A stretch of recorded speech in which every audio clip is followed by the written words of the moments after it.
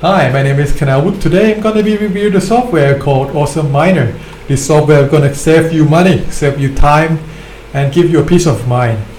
If you like me and you think that mining Bitcoin you don't have to monitor every hours, then I will recommend that you to use this software. Don't do it manually. It's going to give you a hassle. I have been using this software for over two months now, and it's helped me saving me a lot of money and times. And I can free myself doing other things rather than you know monitoring every computer that I have.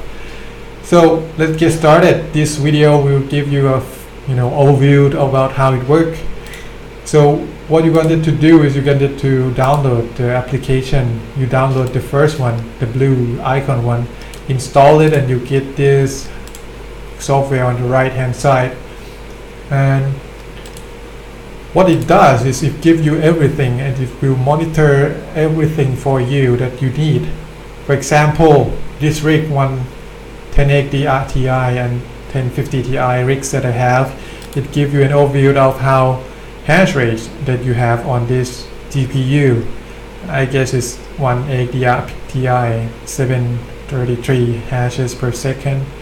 It gives you an estimated how much money that you have, it's kind of like NiceHash but you can mine the coin directly and give it to your wallet. You can sell it later when the coin is you know increase in price and you don't have a middleman to cut your percentage from you like NiceHash.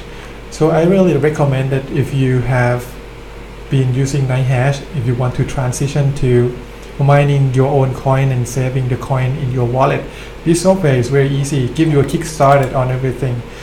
For example, um, if you wanted to mine a specific coin, you just click on buy coin and you choose a coin that you wanted to mine. For example, if you wanted to mine Musicoin, click on Musicoin and click OK. It will change the algorithm for you and then you can choose the software that you wanted to use. Click on the software and the software that is highlighted then that that is the cost software that can be used to mine those coins. So for C uh, Musicoin, you can use Claymore Duo Ethereum Miner, and then you can do dual mode or you can solo mining. It's up to you, and then you can sit, set up your pool. Click new new pool, and you set everything up here. You set it once, and you know that's all you have to do. You can duplicate your miner to you know other rigs.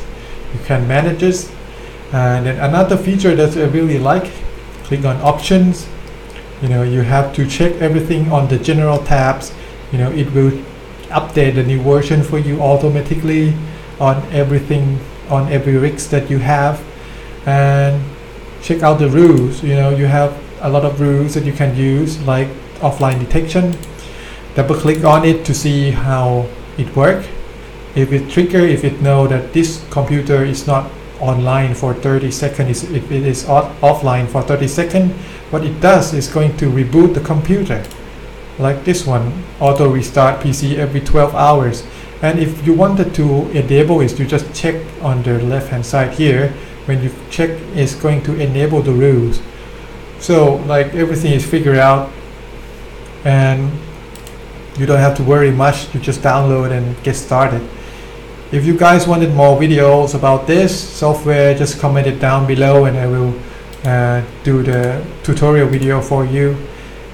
If you enjoy or if you have any other question, just ask me on my YouTube channel. Don't forget to subscribe. Thank you for watching. See you again later. Bye.